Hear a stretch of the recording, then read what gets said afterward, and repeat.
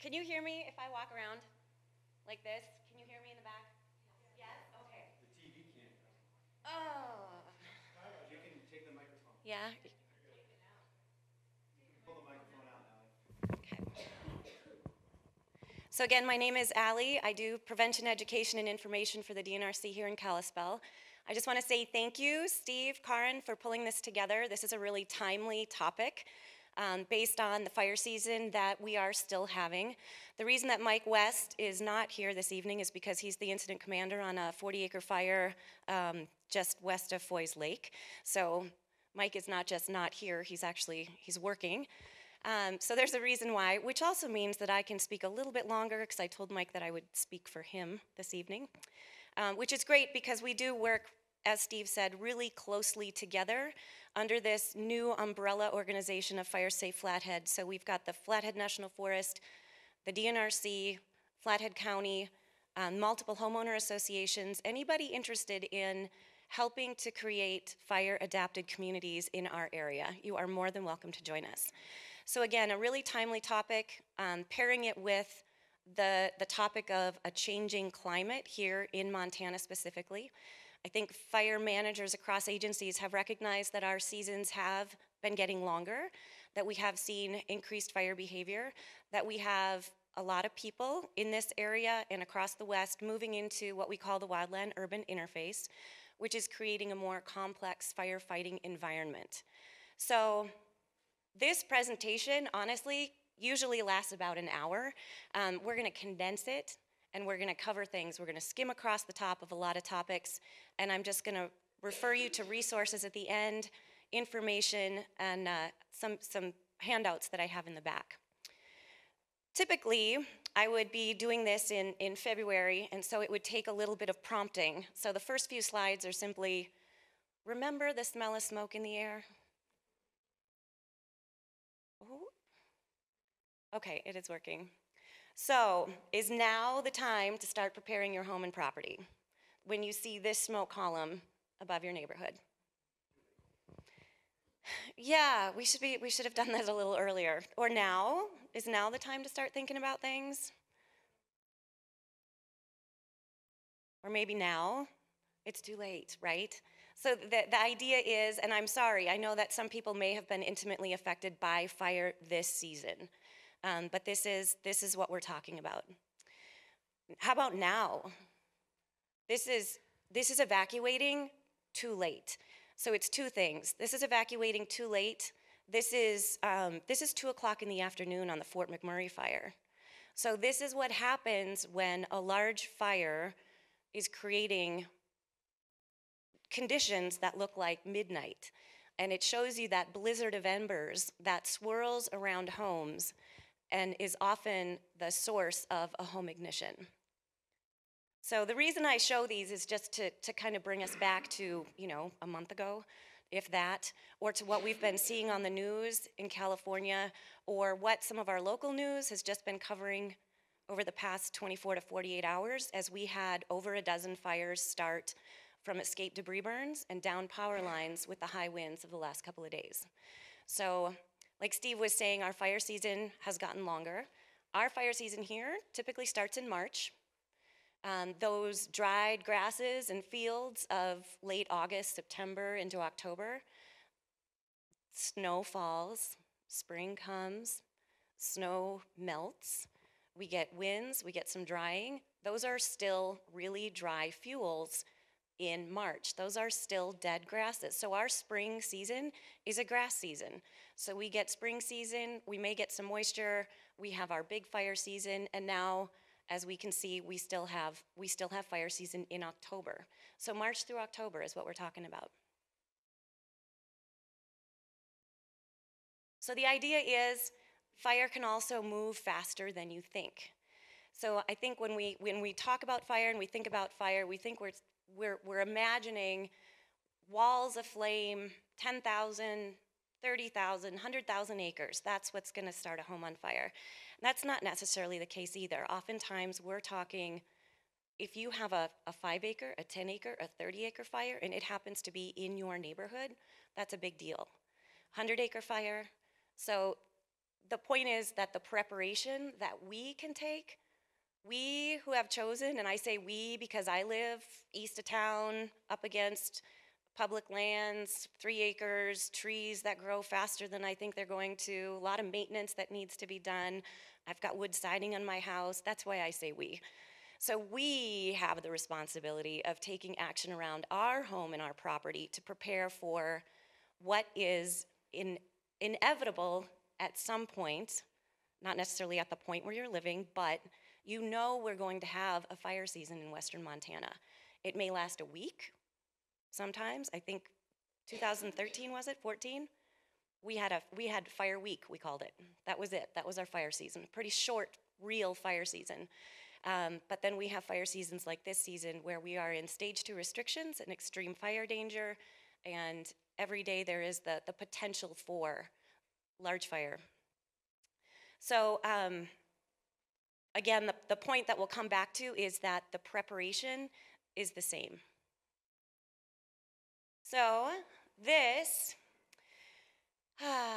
it's, it might be spring, it might be fall. All I know is this this is not fire season.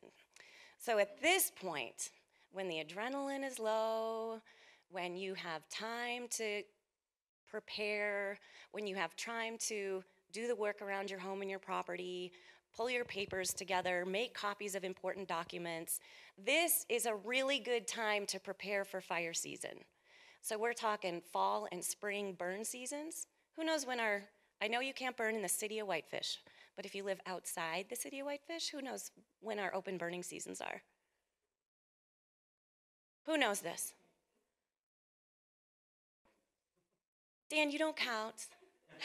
Neither one of you count up there. There are some familiar faces in the audience, and you guys don't count. Open burn season, does anybody? You don't count either. Sorry, Travis.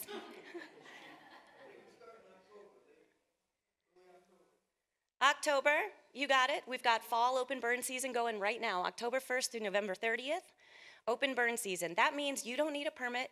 You can go out there with your chainsaw. This is how you get started. You can get started with a handsaw. You go out there around your home and your property and you start pruning up branches and cutting down some of that, that regeneration, we call it. So, Larry, what size gla- gloves do you wear? That was you. You answered, didn't you, Larry? No? Who answered October?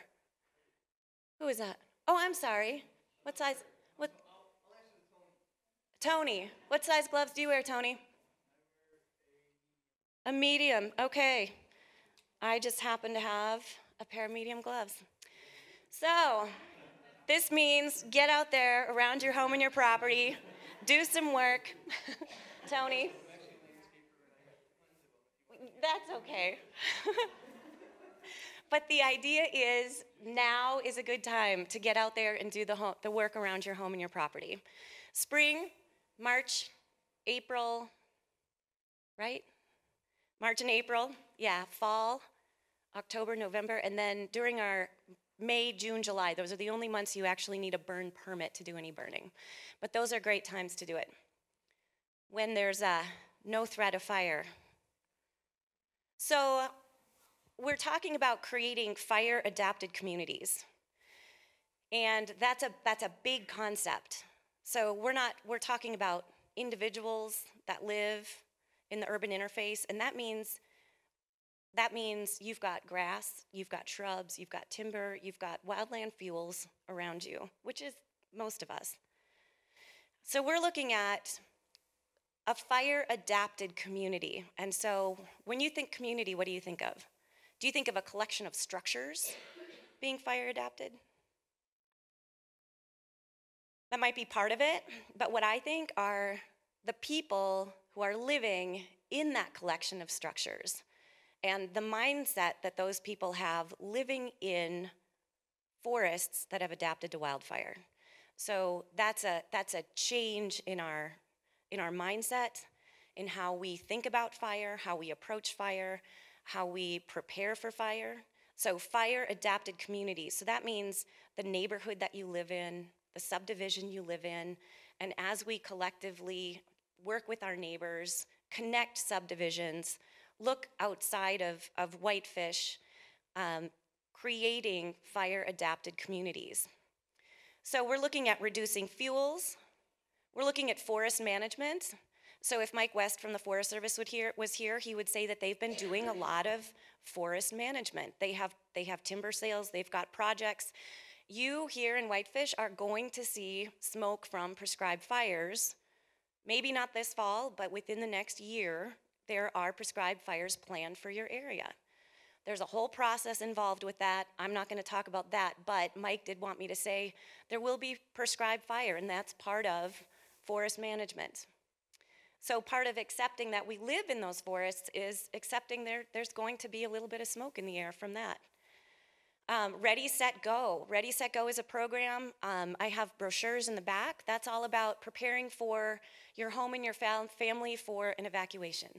So that's one part of becoming fire adapted. If you have a fire start in your area and it's time to evacuate, do you have a plan in place? Have you mentally thought through and prepared yourself for the eventuality of an evacuation?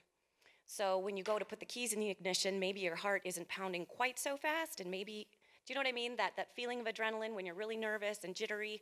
And if you can go through even a mental exercise once, or you know that you're a little bit more prepared because you have boxed up those important things ahead of time. I can tell you there was a time this summer, it was 11:30 at night. It was windy. It was smoky. I knew there was a cold front coming, passing, and I couldn't sleep.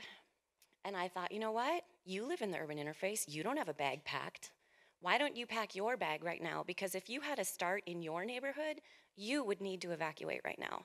So 11:30 at night, what did I do? I packed two bags. I packed a bag of clothes for my son and I. That would be good. That would get us through about a week. And then I went through and I pulled photos. I pulled his baby book. I pulled the journal. I pulled the laptop, the camera, the important photos, anything that. And when you do a triage of your home and what you want to take with you, ultimately it turns out to be not as much as you think. So that was an exercise for me. Like, if I need to evacuate, what am I going to take? I carried those bags around with me in my car for two weeks just because I knew if I needed to evacuate, if I'm at work, if there's a fire start in my neighborhood, I, I at least had those most important things with me. So, ready, set, go. Um, codes and ordinances, I think Travis is going to touch on that a little bit. Fuel buffers, I know that there's been a lot of fuel work around Whitefish. Again, kind of a, a big shaded fuel break they've been working on for a long time. Uh, we're looking at prevention and education, so taking the opportunity that Steve and Karin to, did today to talk about some, some education and get the word out about fire. Um, our community wildfire protection plan. You guys have one here in Whitefish, community wildfire protection plan that I think is due for some updates. We have a Flathead County community wildfire protection plan that we're currently in the review process. So this is what we're talking about. This is a, a big umbrella, um, becoming a fire adapted community. Whoop. And all this means is if you are somebody involved in insurance, if you're a builder, if you're a landscaper, if you're a planner, if you work with emergency management, if you have outreach, education, marketing skills, we could use you in our Fire Safe Flathead group. We are looking for ways to communicate, ways to connect with folks in becoming um, fire adapted. So it is a it is a collaboration. It is all of us working together. It's cyclical. It's identifying projects and continuing to to work together.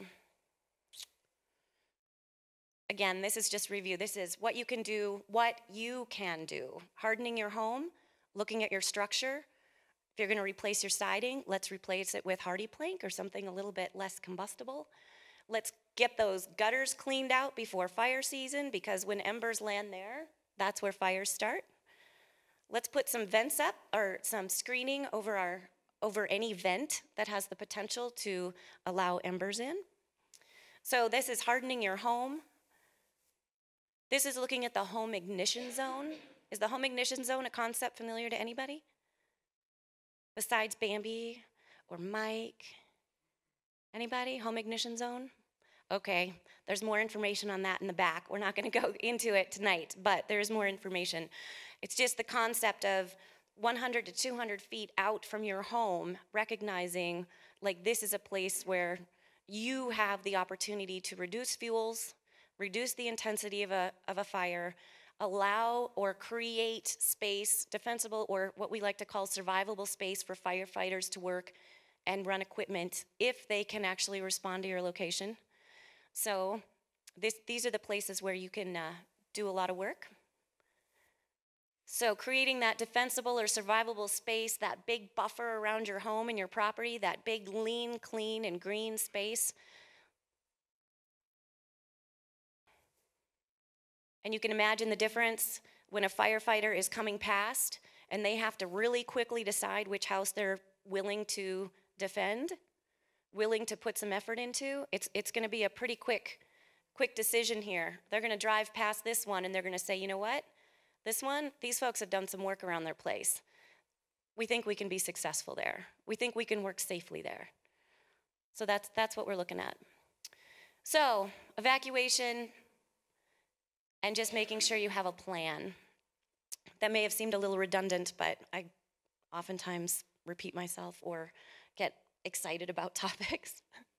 so that's the whole, the, the end there is simply, uh, I think that's the end.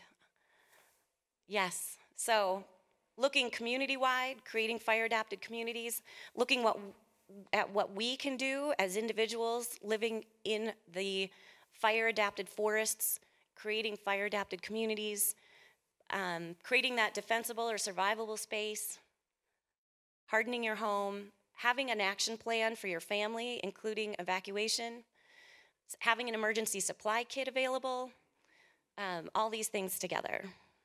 So I think I got my, my time and Mike West's time in.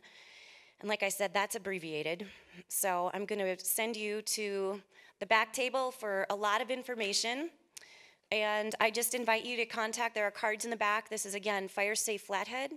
Contact numbers, information, and our mission is we are individuals, neighborhoods, businesses, organizations, an agency, wildfire professionals working together to promote fire adapted communities in the Flathead. We provide leadership, technical assistance, education, and resources. So if you're interested, we've got a lot of people involved and excited about this topic in creating fire adapted communities. So, yes, sir.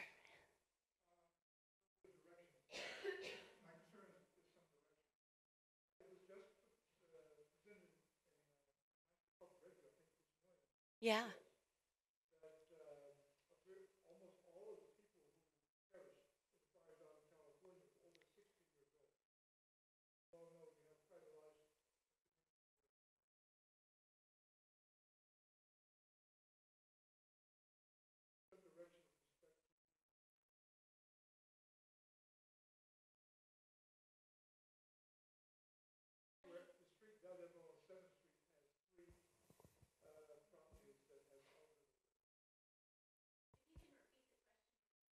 Oh, okay.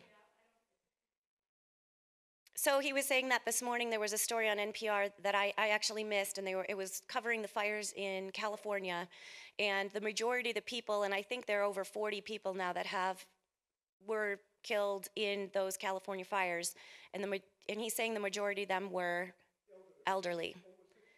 So over 60. So that would be a, a vulnerable population that we would give extra consideration to, and that's a great question. It would take advanced planning, and that's communication within a neighborhood. Um, I, I, ugh, we haven't done much in regards to that specifically here.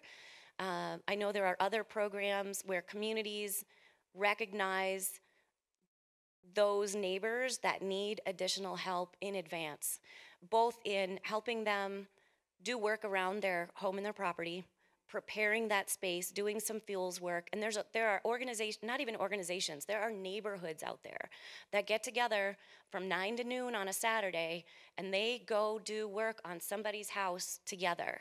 And then they have a potluck afterwards. So it doesn't mean you have to always hire somebody to come and do some work for you. If you have neighbors, if you start talking about this, that's one step. The next step would be being in touch with those those neighbors, having somebody identified to help, having a phone tree, having a way to communicate the situation, and then evacuating early. So not and and California is a different situation. They were up at 2:30 in the morning, 50 to 70 mile an hour winds. That's a that's a really extreme situation. Travis, did you have anything?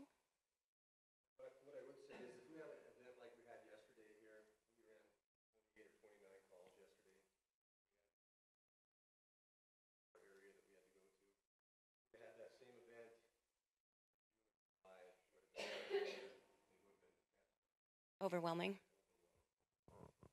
So we could we can talk more about that. I'm um going to go ahead and pass the mic over. I think there'll be opportunity for more questions later. Okay. Absolutely. Yeah, we, we'll have, uh, we'll bring all the panelists up at the end uh, for just general discussion. Because that question you asked, Umar, is, actually applies also to the wildfire smoke issue. Because sometimes the most vulnerable populations are the ones that are, tend to be isolated. Tend to be elderly or, or the very young in the case of smoke. Um, I want to introduce our, our next speaker, um, who was made for the job he has. He's our new Assistant Fire Chief uh, here in Whitefish. He comes by it honestly, he's got it in his genes. Uh, Travis Tweet. Um, he grew up here in Whitefish. He graduated from uh, Whitefish High School in 1985. Um, he went on to Flathead Valley Community College, where he um, studied emergency, medi- emergency medicine, and he went on to become an EMT intermediate. And uh, through the years, he's attended multiple classes at FEC in different state fire schools studying structural firefighting, hazardous materials response, wildland firefighting, and incident command. His uh, um, time at the, he- he basically grew up at the fire station. Um, his dad, Ted, who a lot of people in this community know, um, served the department for 23 years as a volunteer firefighter, along with 36 years um, with the U.S. Forest Service on the Tally Lake Ranger District. Uh, so Travis was kicking around when he was a toddler, probably there at the station and around fire camps and such. Um, he started himself as a volunteer firefighter here in Whitefish in 1988. And he was the first firefighter, emergency medical technician hired for the city of Whitefish. So now we have a professional uh, fire department. And I guess you were the first, one of the first professionals then. Um, and he's worked his way through the ranks. And he was the training officer, and then he's promoted to shift captain. And then just a few months ago, he was promoted to become assistant chief and the fire marshal. And so he uh, spends a lot of his time focused on prevention. And so, Travis, thanks a lot for joining us tonight. Thank you. Mine's gonna be short and sweet, because Ally did such a great job of covering everything that we typically talk about. But what I wanted to talk to you guys about, the chief kind of threw me under the bus on this one. He's supposed to be here tonight, but I am. I want to talk about the new urban interface codes that are, the city of Whitefish has recently adopted. They, uh, have only been adopted by two muni- municipalities in the state of Montana. So we're under the infamous- infam- infamousy of learning how we're going to enforce these. And I'm working along with the building department to figure out how we can enforce them. It's a tough battle telling somebody that they're going to start building with non-combustible constructive materials. And when it raises the cost of the construction, they're going to not go for it. So we're trying to figure out how we can do it and how we can convince people that it's important. Um, for the most part, I don't have a whole lot more to cover. Uh, the few things that Ally did discuss were the ember showers. That's what we're concerned about. We know that it's not if, but when. And if it does happen, it's going to be catastrophic. And everybody here is aware of that, and that's why you're here tonight. Um, some of the things I wanted to cover, you know, the, the WUI code talks about cleaning your gutters, um, cleaning your eaves, screening off your attic vents. Don't s- stack combustibles against your house, especially under vinyl windows. Properly display your street names and addresses so they're visible from the street. We need to keep fires on the ground, like Ali was saying, limb your trees up. Um, keep defensible space, get the trees spaced apart 10 feet, limbed up six feet. And the big thing for us, like I said, is addresses and visible street names and um, making sure that your driveways are 20 foot wide. They're, they're uh, limbed up 14 feet, so we can actually get engines down them. You have turnarounds at the end that are big enough for fire trucks to turn around. And make sure, you know, and what else helps is you have two ways out, more than one access. Um, and just clean up the ground litter, remove the dead trees. And like Ali said, when you're, when you're told to evacuate, evacuate, don't stay there, then we have to worry about getting in there to get you out.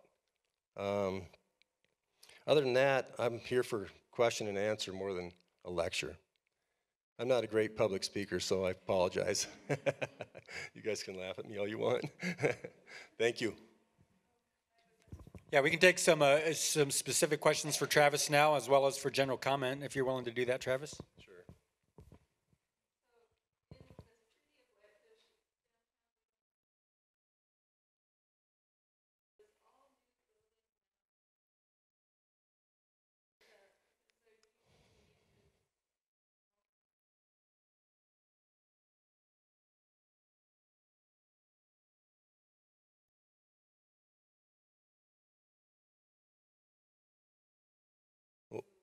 Every chance I get to get a building sprinkled, I do. Um, it doesn't always happen. Uh, it depends on the occupancy and what's, you know, depends on the occupancy of what's going into the building. The size of the building, square footage.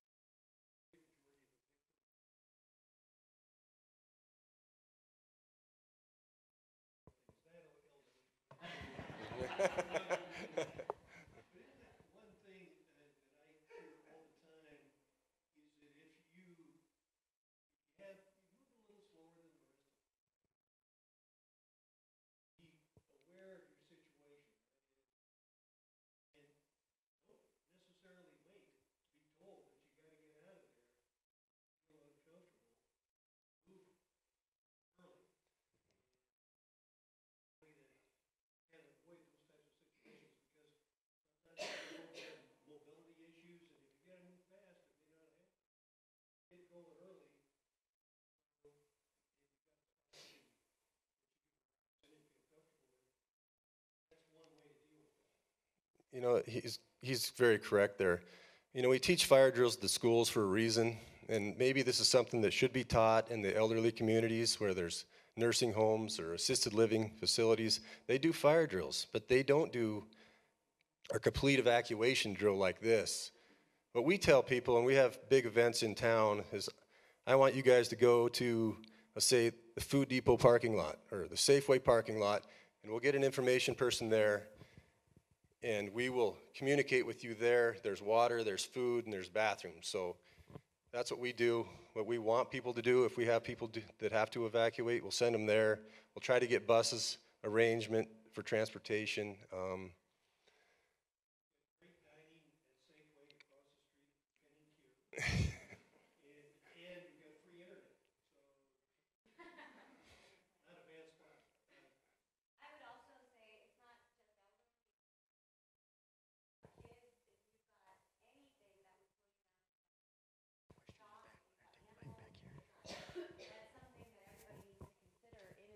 in an evacuation situation well, well in advance.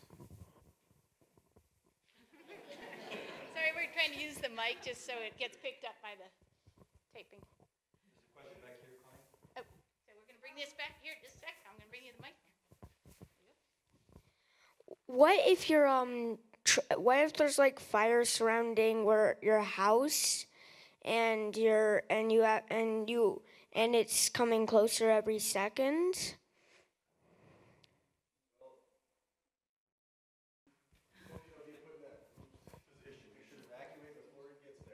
One, get away from the building and go to a safe area, a safety zone, what we would call it in the wildland side of things. Um, I don't have an answer for you. Hopefully your house has been cleaned up all the way around, you have defensible space, so the fire gets there, it's just gonna burn itself out, it's not gonna get to your house.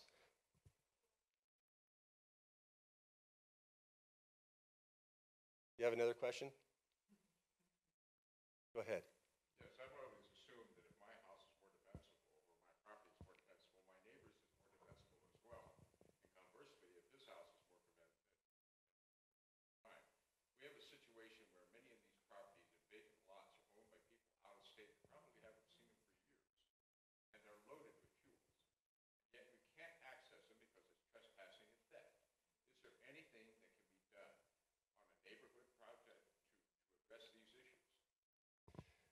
Well, if we start enforcing this urban interface code, there is. We can get a hold of these people and have them actually get in touch with the owners and make them, or require, the city can re- require them to do it in the city limits. It- It's in, the-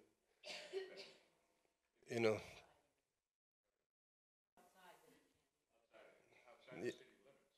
You know, I'd have to go with the county on that and find out what the, try to talk to the county.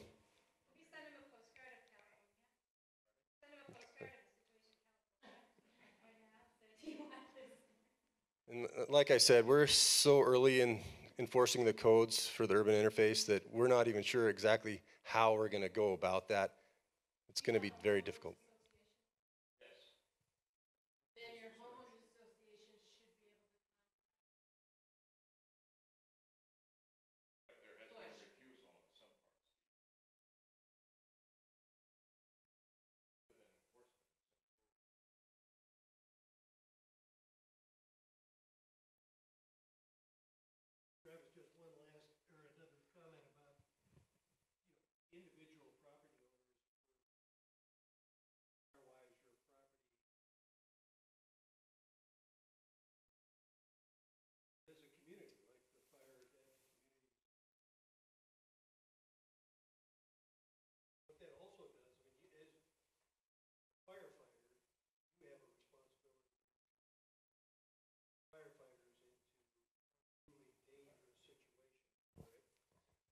Correct. So that's why I talk about having posted addresses, streets that are 20 feet wide, trees that are limbed up 14 feet, roads that have turnarounds at the end, or they have more than one way out, so we can get in and get out, and we don't have to get in there and figure out how we're gonna back out of this road for a mile and a half.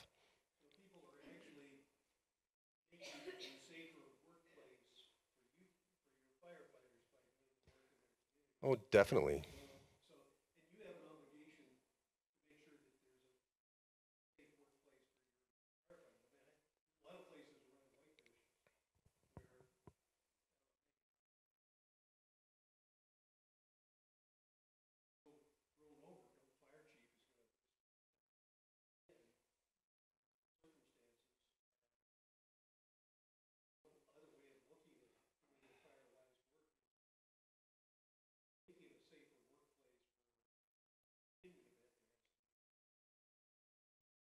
Right. And what, how we handle that is we go in to these subdivisions or areas with multiple homes and we're gonna triage those homes.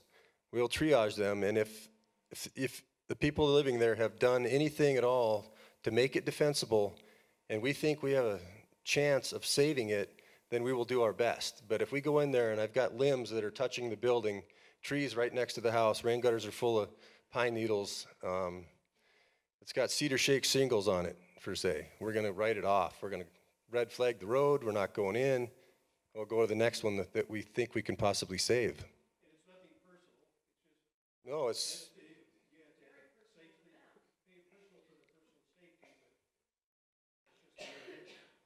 Yeah, you know, this is a, trying to keep up with all the, the growth, the, the regrowth of this, it's just a constant battle. You have to do it every year. Everybody thinks they're gonna get it done in one year, and when they should just be doing small bits at a time and get it done over a period of time, over every other year, like Ally was talking about, do it in the spring and fall, not during the fire season, waiting till the last minute to get it done. Yes, sir.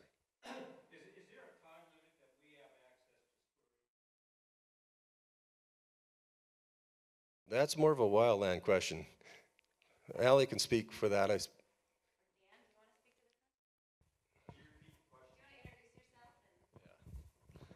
My name is Dan Cassidy. I work for DNRC. I'm operations manager and uh, participate on the Type 1 team. Um, Usually on the slurry bombers, they're allocated based on the preparedness level throughout the United States. Each region, there's nine regions, uh, Forest Service regions throughout the country, and each region has a preparedness level. And the slurry bombers are national resources, so they get moved around based on where the fire danger is the, the highest. So they could move slurry bombers in here as early as, you know, June if we have the fire conditions. And, you know, we have the advantage of having Neptune Aviation down out of Missoula, which is a, is a big contractor for slurry bombers. And then there's a lot of all smaller, uh, single-engine air tankers that are, are based in various locations around Montana, but it's, it's actually based on national preparedness levels.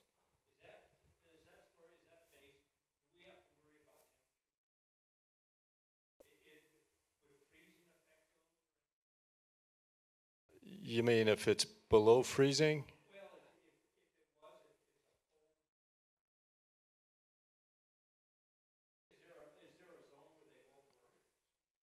Um, you know, I mean, a lot of times they're going to be here in the, the warmer temperatures, I guess, uh, if I'm following your question. Uh?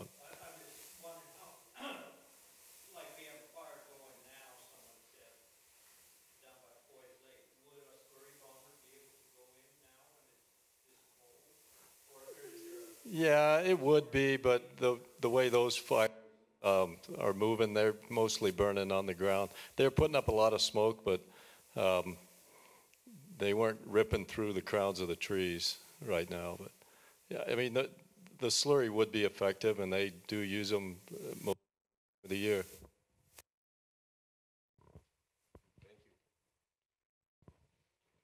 Yes, sir.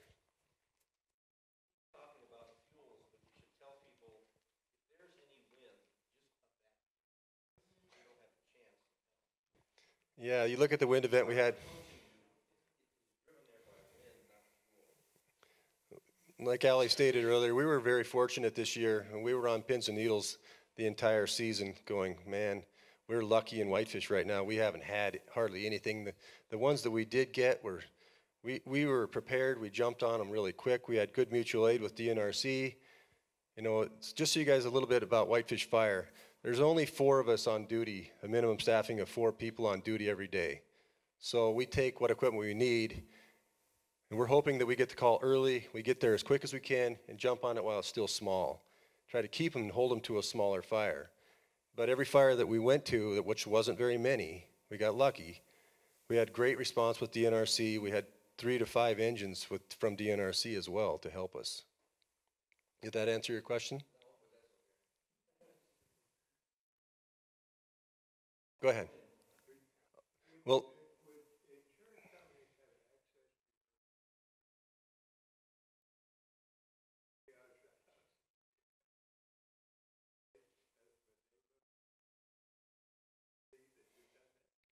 they very well could. There's possibility that insurance companies could start.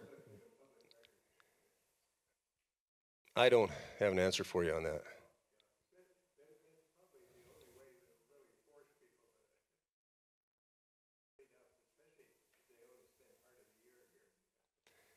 Well, I do know that insurance companies won't insure buildings. When I do inspections in the commercial buildings, if they're not up to code or there's something that insurance companies call me all the time going, is this building meeting code? Is it safe for people to be in or occupy? And if it's not, I try to get it up for them, have them, you know, repairing stuff in the building to bring it up to code so that they, you know, insurance companies will, they will revoke their insurance if, if they don't.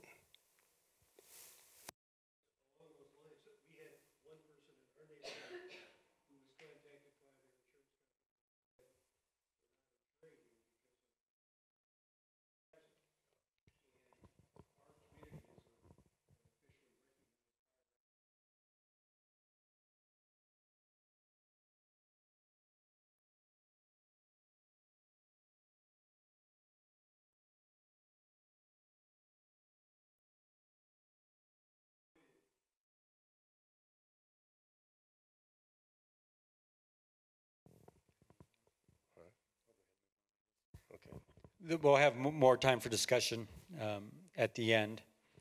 Um, And in fact, I was at the last uh, Fire Safe Flathead meeting we were at last week. Um, Someone from another part of the valley indicated that there's a couple um, homeowners that, that did uh, lose their, their insurance. They were dropped. Um, So increasingly, insurance companies are looking at this.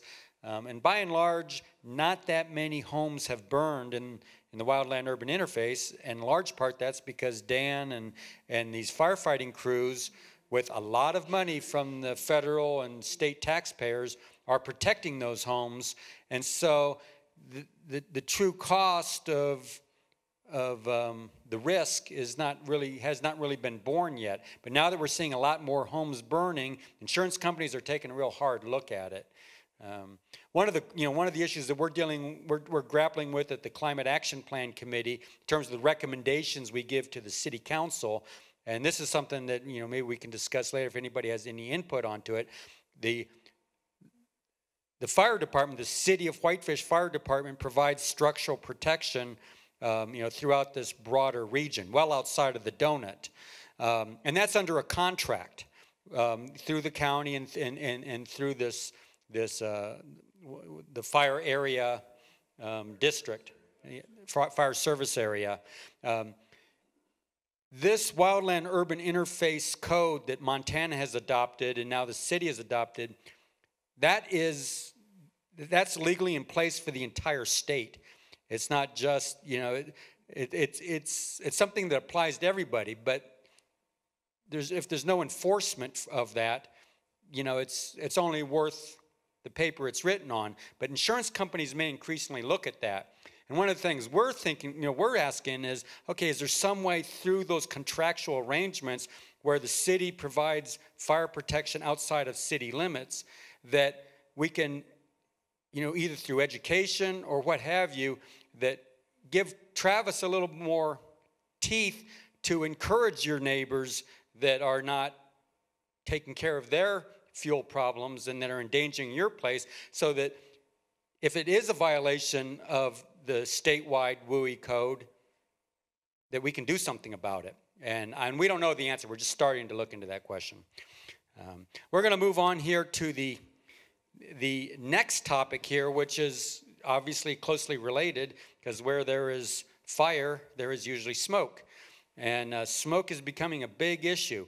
Um, and it's not just local fire that produces smoke. Um, we get smoke from all over um, the western United States and western Canada, and it likes to hang in these intermountain valleys. And um, what can we do about that is the question. Well, turns out that there are things we can do. And Amy Cilimburg is the director of Climate Smart Missoula, which is sort of our sister organization for Climate Smart Glacier Country.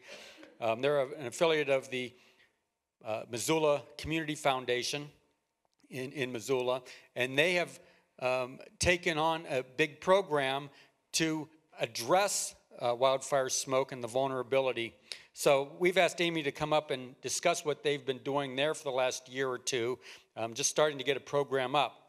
Um, I've known Amy for quite a few years. She's worked on climate and energy policy for at least the last decade, um, encouraging solutions at the local, state, and federal levels. She did much of this work um, through Montana Audubon and by volunteering locally. Um, she was involved in Missoula's climate action plan before they created Climate Smart uh, Missoula. Um, she's thrilled to be putting her passions to work, leading Climate Smart Missoula, strengthening connections throughout the community, initiating new programs, and ensuring this remains a resilient community. Thank you for coming up from Missoula, Amy. Thank you, Steve and Karen, for having me, and thanks everybody for um, listening to somebody from Missoula, because we um, we're happy to share um, what we know, and we're happy to learn from other communities. So, a little side note: um, I was sitting in a coffee shop with Steve a few years ago, and we were racking our brains as to what to call our effort, which um, was inspired by work with Steve and other folks around the state. And we're coming up with all these wacky, creative names, and he looks at me and goes, "Why don't you just call it Climate Smart Missoula?" And we're like okay. That's a good idea. So we got it first, and then now there's Climate Smart um, Glacier County or Country, which we're um, thrilled to work together. Um, so I was just going to spend two, three minutes of, of describing our organization just so you know how we got into being the group that ended up providing air filters to elderly seniors in Seeley Lake. like it's kind of a stretch and kind of an interesting path. Um, I'll just share it with you really quickly how we got there, um, with the idea that I, I want to share what we are learning, continue to learn about how to be healthy as a community um, when we're stressed with wildfires, in particular, um, the smoke piece of it. Um, and I'll, I think the next speaker will hear more about some of the health impacts and some of the health, what we think about from health. I'll touch on that just a little bit. Um, let's see. Um, so just I'll first say, if you're interested in any of the work that we do and more, I have a lot of resources. I have some in the back, but um, they are available at climatesmartmissoula.org. We have a Facebook page too. So um, kind of easy to find us and easy to find these resources. Um, we are a community-driven effort. We got a lot of people and leaders, uh, local government, community leaders together over the course of a number of years and developed a climate action, climate smart action plan, we call it, about two years ago. And it really, um, Climate Smart uh, evolved out of a bunch of these community meetings, very similar to the work that you folks are doing here. Um, and we've taken that action plan and we realized, you know, we needed an, a group, a nonprofit to steer it, to help implement it, and to move it forward. Um, so again, you can uh, read the whole 138 pages on our website. Um, I'm sure it will. Be, it's it's really riveting, but not it won't be quite as good as the one you guys are working on. Um, but our main job is to foster partnerships and um, actions to address climate change. It's a very collaborative effort, as was already discussed here. Um, we none of us can do any of this work without a lot of um, deep uh, friends and partners. Um, the way our kind of climate action plan is, is worked out is we have a bunch of focal areas and we call them buckets. Um, everything from transportation to renewable energy, zero waste, a whole bunch of things you think about in terms of sustainability, um, your carbon footprint. Um, at the core of what we do is really education and outreach and also um, the inventory, trying to figure out what our greenhouse gas emissions are and those things. Um, but there is a whole bucket of community health, a healthy community, and that's where um, this work kind of has its roots. Um, this particular focus area, our goal is to enhance our climate-related disaster and threats preparedness, educate Missoulians and others about the climate health link and build a more resilient individuals and community. Um, so clearly as climate change um, is impacting us, we need to be thinking about how we can um, how we can do more and prepare.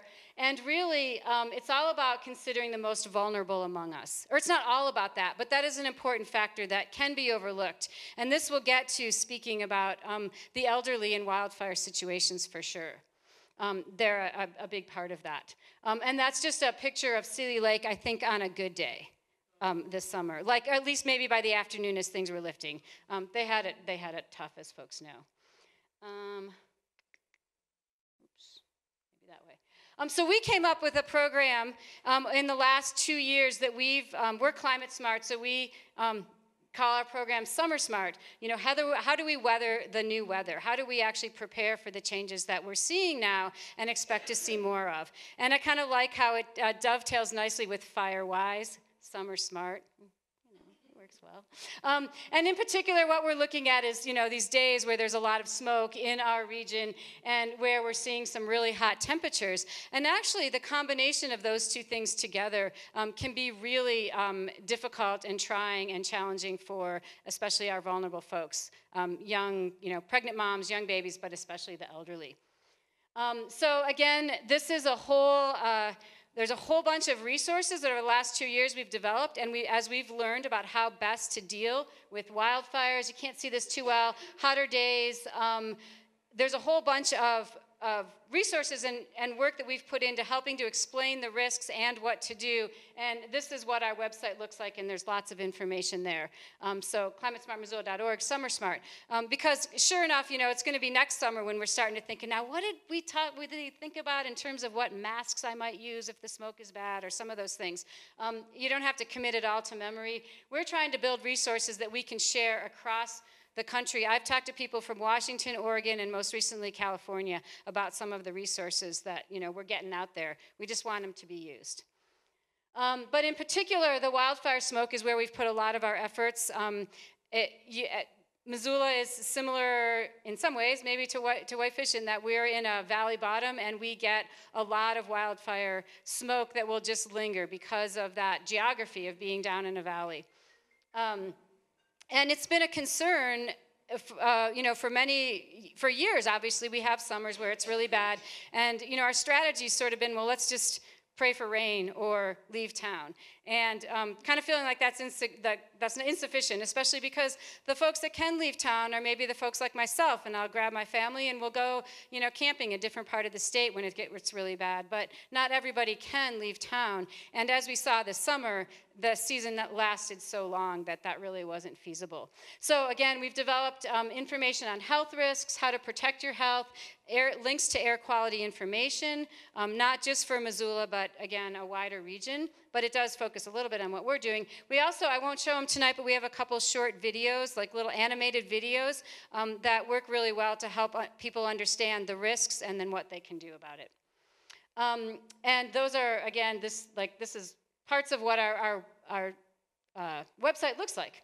Um, we have infographics. We have all kinds of just ways that we can get the information out. Some people really like to read long reports, and some people like um, videos, and some people like to read infographics. So we're just trying to get as much there as we can. Um, have to hit it that way. Oh, skipped one. So, you know, we have a basic things that we think about when wildfire smoke hits. And again, I'm going to get into talking, I think, and the title of this was getting into thinking about indoor air quality and what you can do. Um, but the basic things that we have suggested for people to really think about is monitoring air quality levels. They vary, as people know, day to day, region to region. We had parts of Missoula that would be pretty good air and other parts that would be really poor air. So understanding how you can know what the air quality is at any one time in your community um, super important. Um, it's really hard for people, especially as smoke is there for a long time, to limit their activity outside. But again, there's recommendations about how active to be and uh, based on what those air quality levels are. And is everybody pretty familiar after this summer with what I'm speaking about here and the air quality? You know, is it hazardous for um, sensitive populations or very unhealthy or all those, the different categories they had, has different implications about how active to be. Um, but that can be very difficult for people. This summer, um, as it was getting really bad in Missoula, we ended up um, my daughter runs cross country, and the cross country coach has oftentimes in the past just said, Well, it's too smoky to run, so we can't have practice. And then under his breath, he would say, Go run anyway. And we're like, That is not okay. Um, and seeing the health folks go, yeah, that is not okay. But he actually really didn't understand the implications of breathing that wildfire smoke in. The PM 2.5 that you can't see, that very hazardous material, it gets into your lungs. It's it's, you cannot cough it out. It never leaves your body. It flows into your bloodstream. It is very unhealthy um, the air quality specialist in Missoula actually looked at, they've looked at health records, and when Missoula had very bad air quality in the winter a few decades ago, they saw a decrease in the athletic ability of youth growing up in Missoula. And it's a correlative study, but it was, it was real. And um, there, and that's because they were breathing in a lot of really unhealthy air over time. So it's not something to just, you know, laugh about, um, we ended up working with a bunch of fitness centers in Missoula to allow the kids could, to run on treadmills. And they ran on treadmills day after day. Um, it was very difficult, but that was the best response because those treadmills were indoors and there was air conditioning and they were filtered. They probably weren't completely clean air inside, but it was better. So, anyway, the, the whole activity is something that we need to think about, and we need to work with those folks that are making those decisions. Coaches have a very difficult time telling their kids, their athletes, not to participate in sports. It's very difficult to cancel a Little League uh, bas- you know, baseball game, even though you probably might need to. Um, so, you know, basic recommendations when it's very smoky out, again, when we're getting to the unhealthy levels, hazardous levels, is to keep all the doors and windows shut and stay inside. And then I'll talk more about what you're going to do inside. Um, avoid spending long periods of time outside. And then the final, you know, again, these are, are sort of some of the key recommendations. There are more than this. Using an air purifier, an air conditioner with a filter on it can really clean the indoor air. Um, Um, the other thing that we did, and I'm going to come back to those air filters in the indoor air in a second, we, we also created and looked at a map of, of places, both places where people could go if they needed to cool down, because heat is another piece of this whole climate changing um, world we're living in, um, but also places where there were clean air, um, places where people could go where there was air conditioning and um, and we created a whole map, sort of an interactive map. And the other thing that we're continued to do both last summer when we didn't see much smoke, or, I mean, sorry, 2016, we did not see much heat or smoke. And then this past year is we actually have some air monitors indoors that we're trying to understand how healthy the air is inside at some of our public spaces. So um, it's an ongoing exercise of building awareness and actually understanding among health professionals. We're working with some folks at the University of Montana to do continued research on that. Um, but mostly, I wanted to um, um, get in and talk a little bit about HEPA air filters. These are portable air filters that you can plug in to, you know, your wall socket, and they'll clean your air. How many people have one or got one this summer? A couple folks here. They are amazingly effective, and I want to just share the story of how we ended up outfitting folks in Missoula area and in Seeley Lake, and actually all the way up into the Swan Valley and down um, Ravalli um, also with these.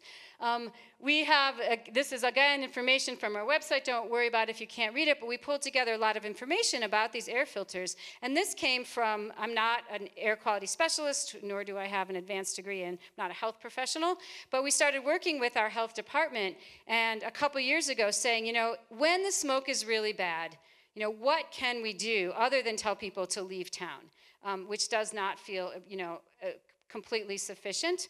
And Sarah Coefield, who's our air quality specialist in Missoula, said, You know, I just love to buy these filters and give them to people.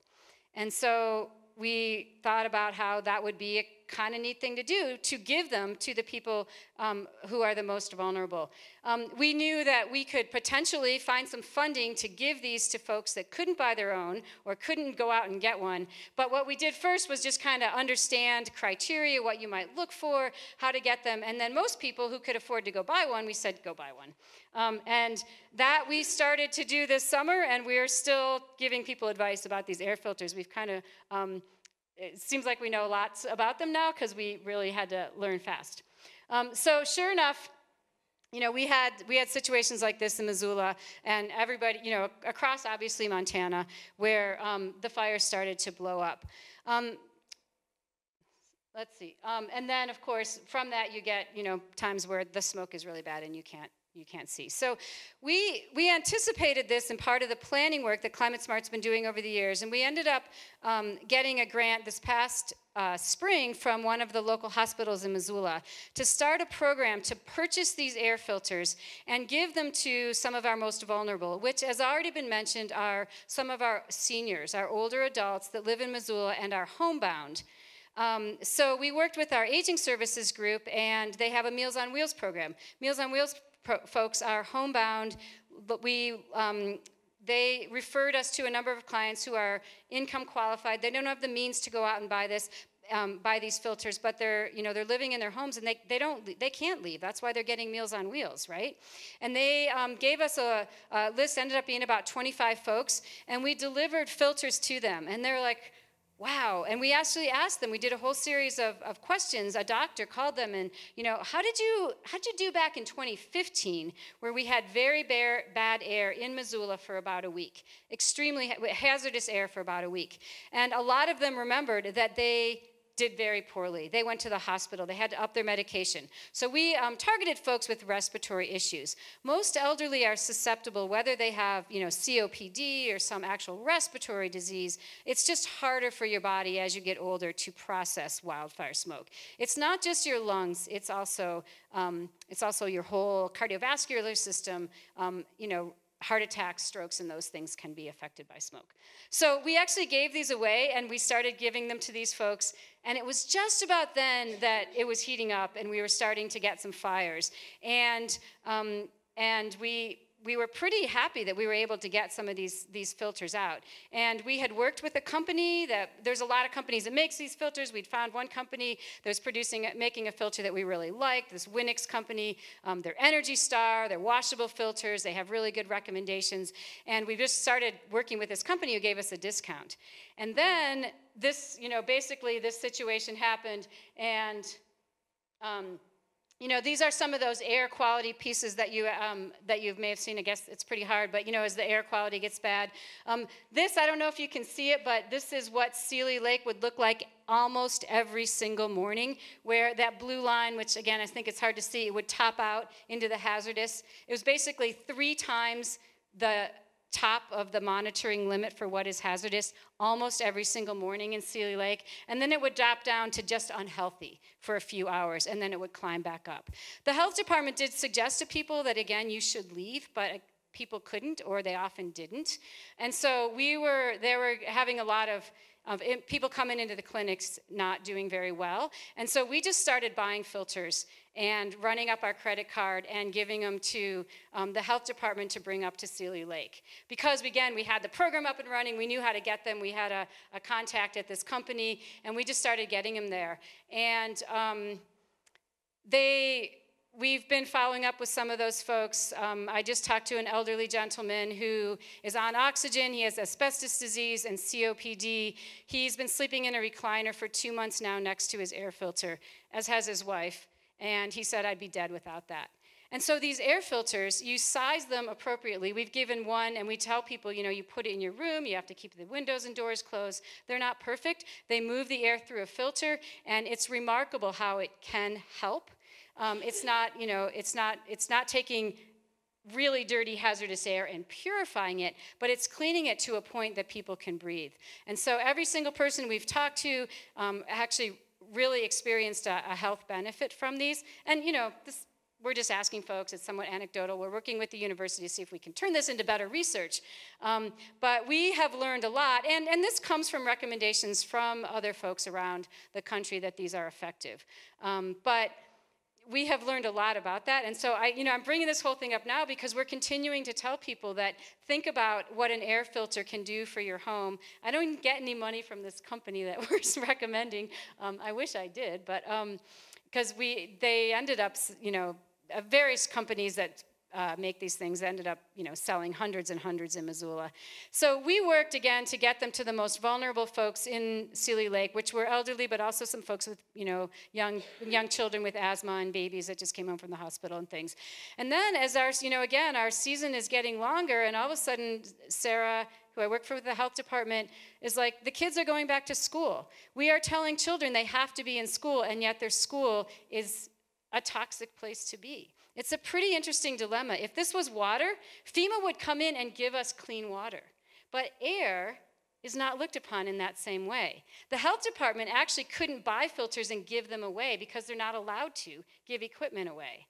Eventually, you could figure out the asthma program has a way to get people, you know, free filters, but it's a long, arduous process. And this was something we needed to do immediately, if not two weeks ago. Every time we ordered filters, we wish we'd had them the week earlier.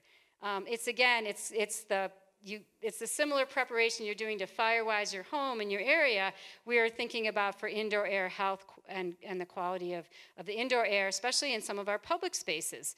So uh, the health department and with the schools and Climate Smart, we all started buying more filters for the schools, both in Seeley Lake. Then we moved down to Lolo, which was really bad. We bounced up to the Swan Valley and bought them filters so that the children who had to be back at school could come back to school.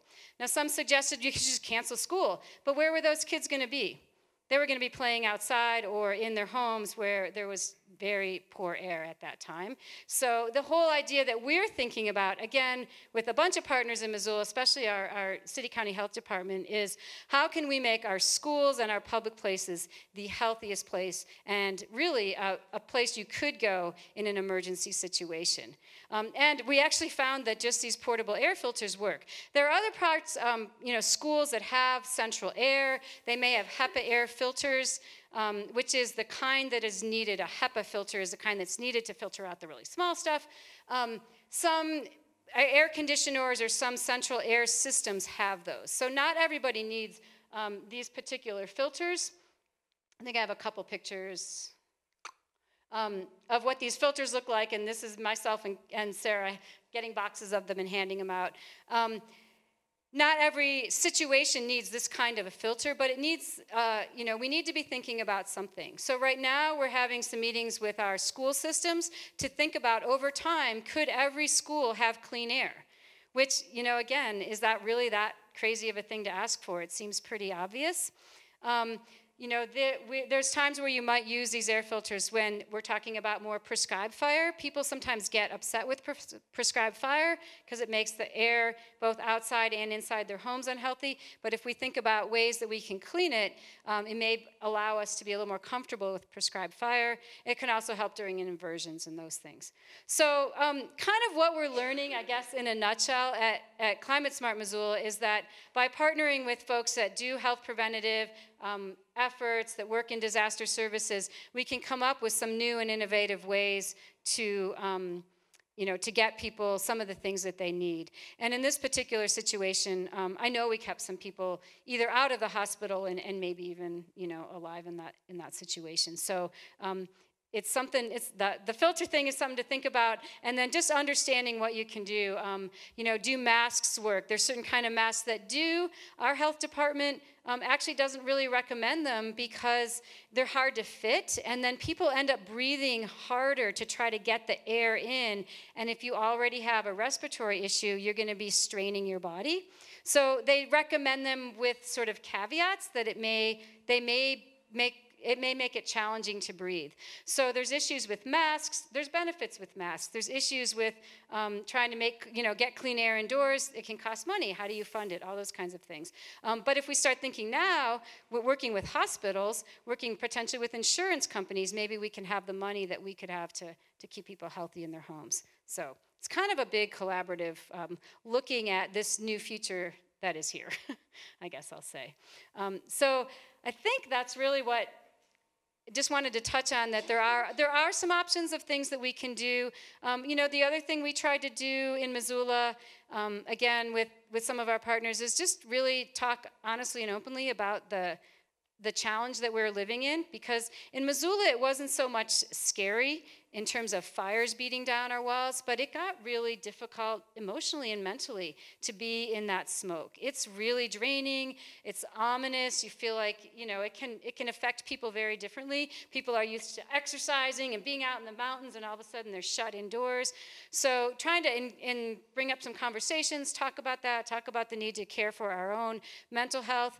And then a big part of all of our work, um, if you watch our little videos, you know, is to check in on your neighbors, as was already discussed a little bit, and your friends, and make sure maybe that if there's an elderly couple that lives a couple doors down, that you're um, that you're helping them. We had folks that went out and bought air filters for their neighbors, and and just kind of, you know, it's the partnerships and the collaboration and the neighborliness that really is going to help us when we're in these um, challenging conditions. And you know, they, they do end. It's been beautiful and blue sky and clear air down in Missoula now. And we also, a lot of, you know, folks survived, but we know it's going to come up again.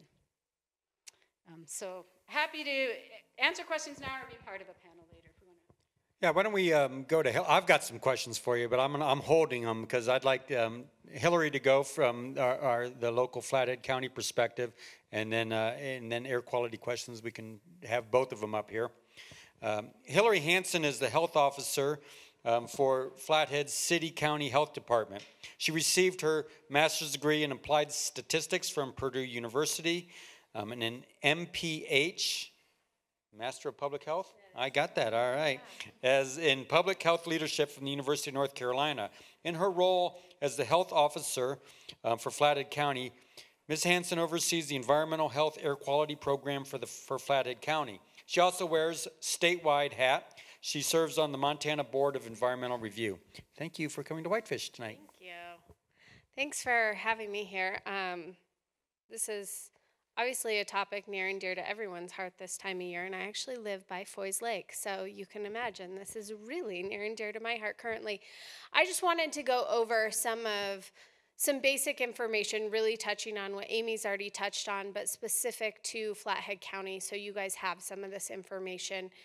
So we do have three air quality monitoring stations in Flathead County. There's one located in Columbia Falls, one in Whitefish, and one in Kalispell.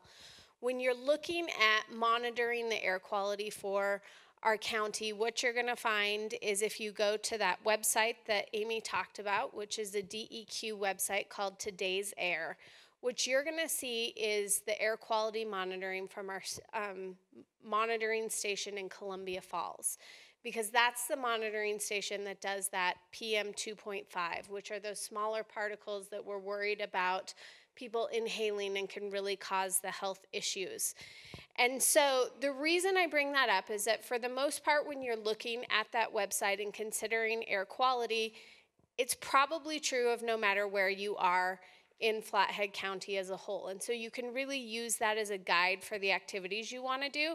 However, we have had times a year where some of the air quality has differed where you are. This was one of those years where we would get reports that you can't see five feet in front of you somewhere, and somewhere else the air quality seemed a lot better.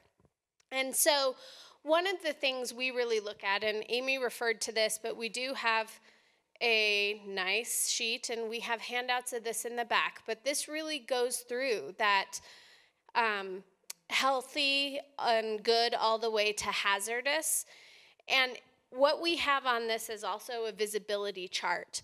And so we encourage people to really utilize the visibility chart sometimes when you're concerned about wherever you are and does it match up with the air quality in Columbia Falls that's showing up on your webs on the website. So the idea behind that is really picking a location that you know the distance of, can you see it, how far can you see, and then judging the air quality based on that. So, a few things we did in Flathead County this year. One of them is to make sure that this handy sheet was as many places as it could possibly be in the community so that people were making decisions truly based on what the recommendations are for their health. So we want to make sure that when it says you should only be doing light activity, you're only doing light activity. We also want to be sure when we're in that unhealthy for sensitive groups that people are recognizing the sensitive groups around us. It can be elderly, it can be people with health issues, but we also need to consider kids and other people's or all, all the kids that have those young lungs, those infants, those others, and really consider them to be a vulnerable population too. Um, one of the other components we did, and I don't have this as a handout, but it's on our website if anyone's interested in it, there are also recommendations of what schools should do. And so we ask all the schools in Flathead County to be following these recommendations, ensuring parents had these recommendations so that we were all making decisions the same across Flathead County. So this guide actually goes through, you know, if it's uh, unhealthy for sensitive groups, unhealthy, whatever category, what you would do for resources, PE classes, athletic practices, all the way to scheduled sporting events. And so I know at least in Kalispell and I believe Bigfork and maybe Whitefish, I don't know that for a fact, this was actually even sent out to parents so that they could understand how schools were making their decisions about when to cancel events or when to keep them ongoing. And that's what we're really trying to ensure is there's that consistency across this. We do meetings with both um, superintendents, teachers, coaches, um, athletic directors, trying to make sure that all this information is out and in the community. Um, the other thing I just wanted to touch on when we talk about air quality, it was mentioned earlier, open burning. And one of the components that we do with open burning at the health department is we actually open and close it based on air quality. So while we talked about that right now we're in open burning, the rules are actually that we're in open burning if you call our air quality hotline, and it also states that we're open because of air quality. So um, that phone number, if anyone wants to write down, but it's also on our website, all the info but is 751 8144, and that's updated on a daily basis to really look at the weather, look at the air quality, and determine if open burning should be done. So we want to make sure that even in the times we're not necessarily talking big fires, that we're also considering air quality throughout the year just from those components too. Any anything else, Kate? Did I miss any? I have our environmental health coordinator here too, Kate Cassidy, in case you guys ask me hard questions. Yeah.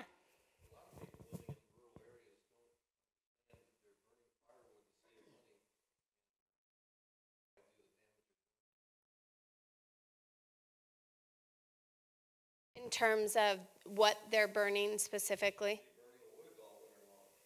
Yeah, and Missoula deals with house smoke board than others, but that is a piece that we try to do education on too. I don't know if you want to touch on that anymore.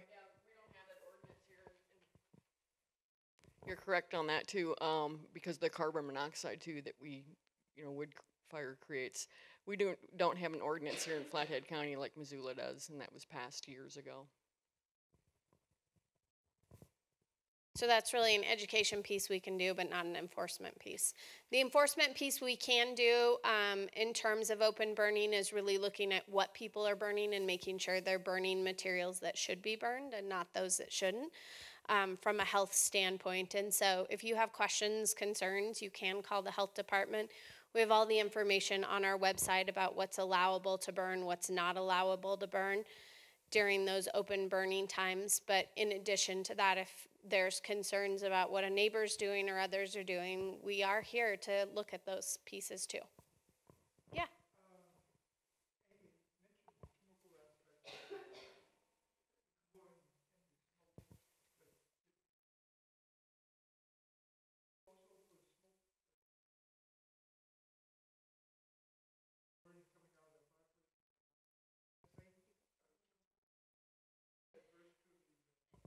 You know, so the my understanding of wildfire smoke is it's got it's got a whole bunch of different things in it, not just um, particulate matter size, but also volatile chemicals. And so every fire is going to have different components to it.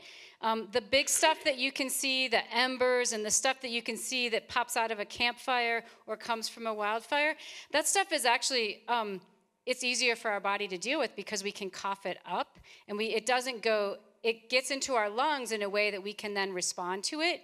The pm 2.5 and the reason they have that on the deq or department of environmental quality that that's why they're monitoring that is because that's the thing that our body doesn't have any response mechanisms for. Um, it gets in and it's in. And so you know again it's a it's a myriad of things um, and it's also, there's a dose response and there's a time response. So, you know, breathing in a little bit of that, for most people, you're gonna be okay. Um, I mean, I went out and rode my bike a little in the really crappy weather because I had to get somewhere and I'm, I'm okay. Um, people are, have very varied sensitivities to that. My next door neighbor, who's my age and also active, had to leave town. She's so sensitive for whatever reason. Her physiology is different. So I guess that the main thing is it's it's sort of more complicated, but you can um, one listen to your own body and understand your own health and how you respond to it, and that of your family, neighbors, and things, and then kind of take measures based on that. But the reason that people are so concerned about um, some of the areas, Lolo and Seeley Lake, that were downwind of those fires that went on and on forever, is because the longer you're in it without a break and reprieve, the harder it is for your body. Um, and again, it's some things that your body can just cough out. Um, our hospital is still seeing um, higher levels of, or they're still seeing individuals that are, um, has bodies are stressed, asthmatic kids in particular, um, that came, that they are associating with the smoke that we had. Um, so I don't think that exactly answered your question, but it's there's a lot of different pieces to wildfire smoke, or any other kind of smoke. Wood smoke in your house too, if you have a, a wood stove. Same thing, lots of difference. Did you have? Oh, question. Yeah, I have a question, not a comment. I'm, I'm just, I'm an interested member of the audience now.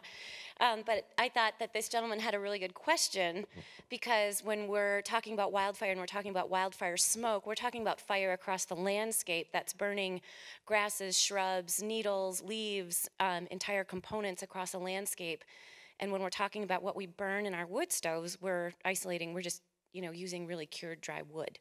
So I have the, I have a similar question. Like, is that smoke actually different, or is it the same? It is different smoke. In a wildfire. versus what we, we, we are pretty particular about what we put in our. Okay.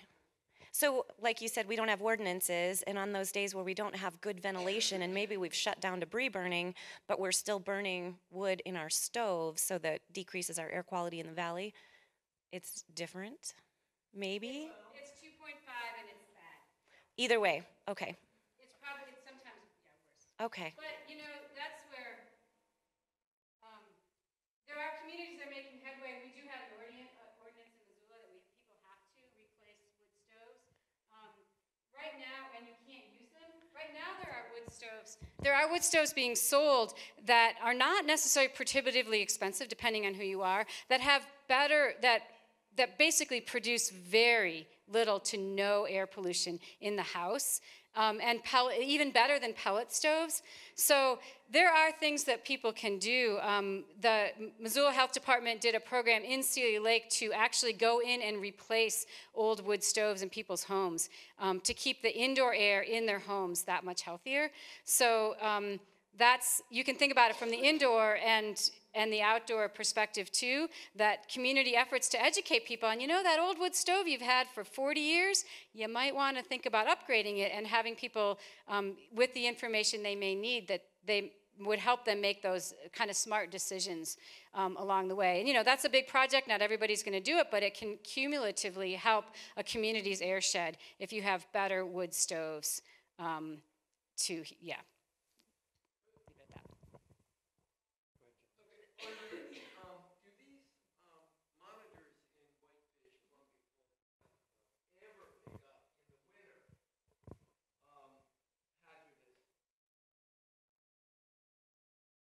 They're measuring all year long.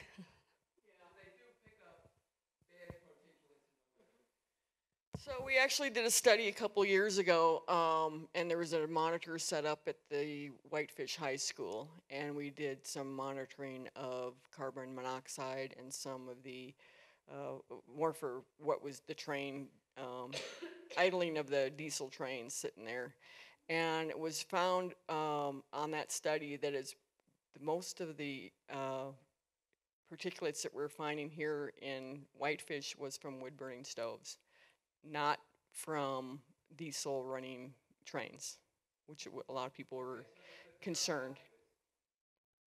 Yes.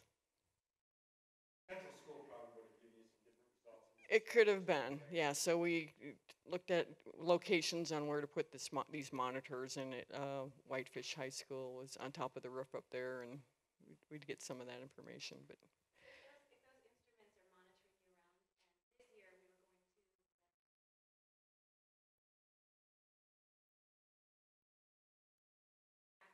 Yes, 20, 24 hours. It's, So it posts It- every hour. you, c- you could go up there right now and look on it. After the hour, so you can see hour by hour. Hour, yeah, you can see that. It's- quality. It's up all the time. You know, when the, when it was so bad in Seeley Lake, they didn't have an air monitoring uh, unit there. and They brought one in. Another one, and then we got another one up in the Swan Valley, not we, but the Yeah, Clearwater Junction. Clearwater Junction. And, you know, maybe that is something that we as a, a larger community of the state of Montana need to ask for is more More monitoring monitors. units, because there was a lot of variation. And we don't want people to freak out and overreact if the air is okay where they are.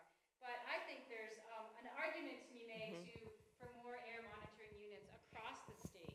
Um, and as we move into this future where we may, again, see wildfire smoke coming from British Columbia, Washington, California. It's not, that, that piece of it cannot solely be managed by good forest management practices in our communities because our smoke comes from so far away at times. And just so people know, the air, the 2.5, which is only in Columbia Falls, DEQ did at one point have 2.5 monitoring elsewhere in the community, and they found that Columbia Falls really indicated kind of what was going on across the whole valley. So they are only have one monitoring station, but it's not because they only have one. They actually tested their way down to one 2.5 monitoring station.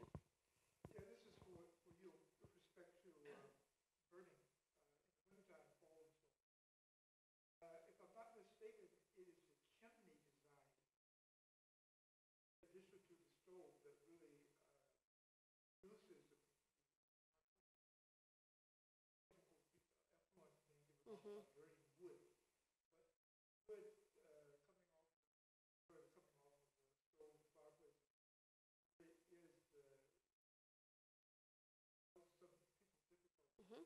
All we have to do is walk down the streets of Whitefish and go into the various neighborhoods where people are fireplaces. Good. Mm-hmm. mm-hmm. mm-hmm.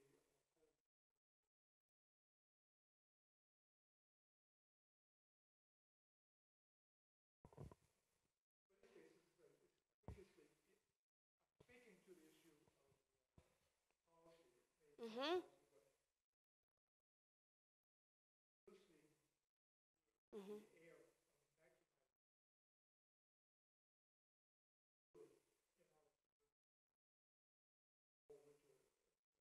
No, thank you, and that's a good comment. And I can't really speak to the history of where we- we were at in Flathead County. If we looked at that in the past, did we, Kate? But one, of- that's one of the reasons why we don't allow, uh, open burning during the winter seasons. Because of inversions and that, you've got your warmer, it acts as a blanket, you've got the warmer air on top and the colder air down below, and it just doesn't mix out. So that's one of the reasons why we don't, uh, let open burning, as Ally could But I think it's a good point and Yeah. absolutely one we can look at again. Um, is that something Flathead County needs to have and who would hold that Right. enforcement? Where would the policy be?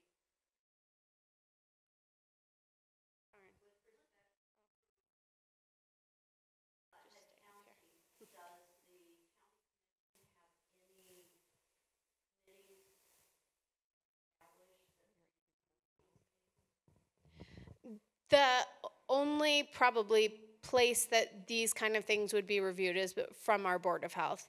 So we are governed, our health department is actually governed by a Board of Health, not by the county commissioners. So they do review and look at policy items associated with health issues.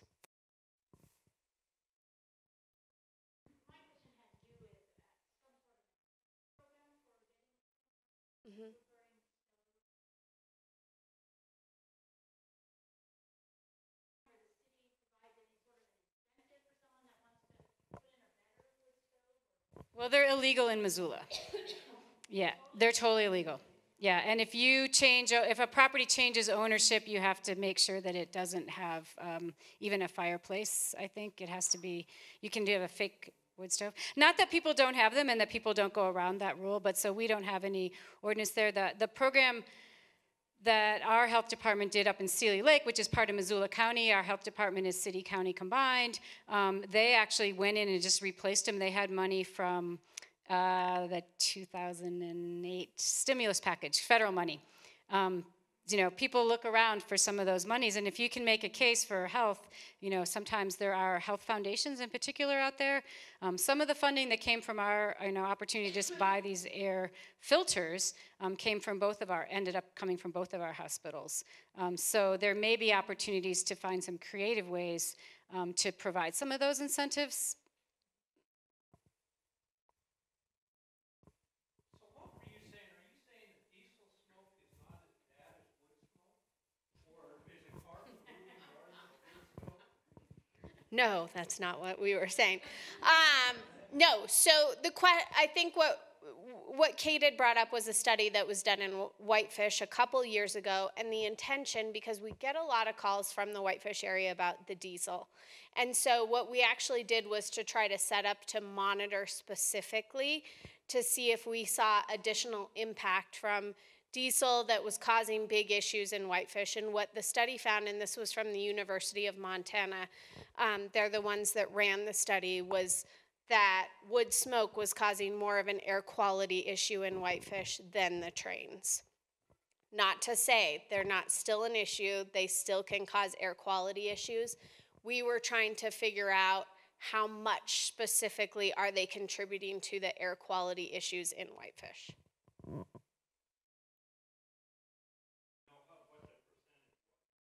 You remember from that study? We don't have it off the top of our heads, but I would be happy to get the study to Karin and maybe she can post it or send it out to people who are here and you are welcome to read it. Yeah.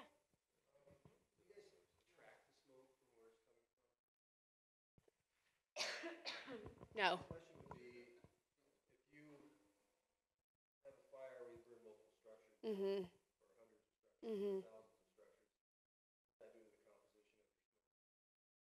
Yep.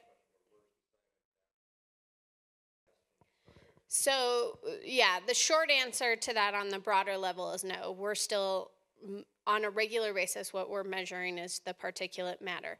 That being said, I know that DNRC and DEQ have been engaged before on if there's specific concerns relating to fires, um, looking at whether additional monitoring needed to occur for specific chemicals or other issues to that. I don't know if anyone else wants to speak to that.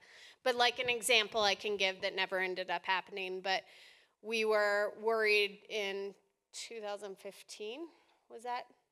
Whatever year, there was a other bad fire year, um, about a snow shed in Essex. So it's a mile long snow shed that the train goes through, and it's actually creosote soaked timber.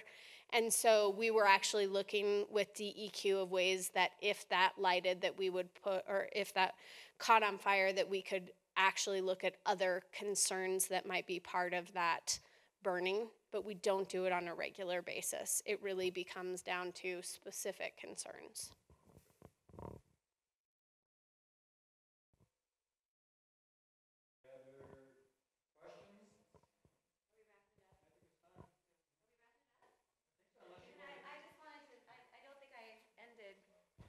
I just wanted to, once again, let folks know that there are resources available um, and information in the back. My name is Allie. I'm on a card in the back. Um, so if you are interested in a home assessment, we do home assessments. We come out and we will take a walk around your home and your property. They're just, they're free. I work with a forester. Uh, depends on, I mean, what, how many acres you have. We talk about forest health, insects and disease. We do that kind of a thing. If you are a member of a homeowner association, if you're excited about this kind of thing, if you want to get some neighbors involved, we go and we do presentations. We set up in somebody's garage, in somebody's living room, in somebody's community space. We can come and, and do community assessments. There, there are a number of opportunities. If you want more education or you want to share this information with your community, we are more than happy to do that. Um, like I said, we're going to have the, the four-part series coming in Flathead Valley Community College next spring. Did I mention that? I didn't. Sorry, I was I, me- I mentioned that at a different something earlier today. but yeah, we are hosting a four-part um, wildfire in the Flathead series. It'll start. Um, it's like it'll be in your Flathead Valley Community College the community ed brochure that they send out. It'll be in there. Um, so it's. Um, uh, it's like the history of fire in the Flathead. I think the last Thursday evening in February, and then the and then the next three Thursdays in the beginning of March. So we'll talk about. Um, I don't know, Dan. You'll probably be there. Uh, maybe talking about some DNRC forest policy. We'll have the um, forest management policy between the Flathead National Forest, the county, the state. We're just going to open up discussion. That's one evening. Another, like I said, is is uh, fire history in the Flathead, and we'll wrap it up with something similar to this, sort of the what can you do to prepare in your home and your property. So we're going to have different different events, series coming up. Um, we just you're more than welcome to get involved. I encourage you to to stay involved. That's all, Steve. Thank you. and thanks for being here tonight. This is a good good thing. Okay, thanks everyone. Have a good evening.